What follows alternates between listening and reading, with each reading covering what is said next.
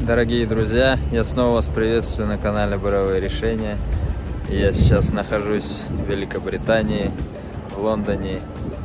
И за моей спиной нет чего-то особенного, куда я сейчас направляюсь.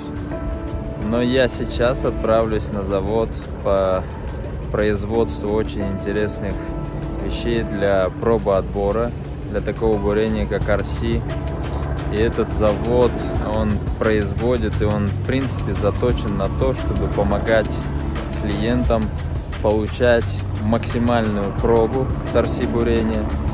И по словам производителя, это позволяет экономить порядка 20 миллионов долларов в год только лишь за счет э, вот этой одной установки, которая называется циклонный делитель, которая собирает пробу, э, борется с, с пылью, которая имеется при RC бурении. И обо всем этом сам производитель расскажет вам в коротком видео. Hello, Toby. Hello. Can you tell me, please, uh, your background and tell me more about these systems, please? Okay, uh, my name's Toby Day.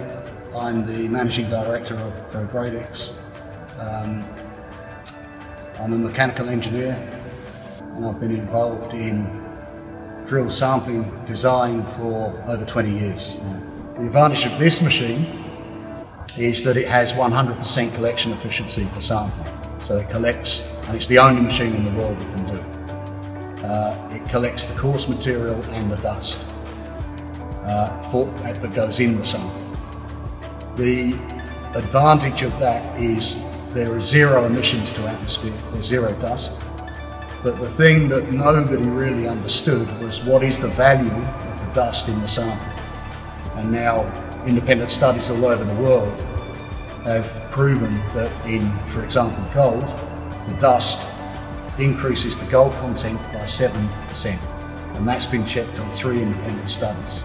One in Australia, one in the Philippines, and one in the Dominican Republic, with the largest mining companies in the world, Barrick and so on. Um, they've also had other studies that have been done that have shown the dust in, for example, silver increases the silver content by 6%, copper increases the copper content by 9%, platinum by 18% in platinum in South Africa. So the dust is worth a lot of money.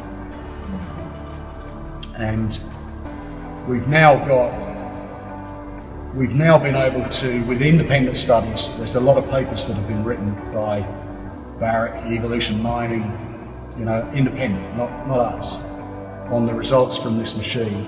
And probably the most important one was the Dominican Republic uh, test work that they did with Mrs. Barrett, where they checked the mine to mill reconciliation from the predicted grade from these machines versus the actual gold poured through uh, after the processing plant. And the prediction was over the course of a year they did these trials. And the predicted grade from the samples was 6.13 6.13 grams per tonne gold predicted the actual gold poured 6.14 grams per tonne. So it proved that we have got a zero bias sampling system.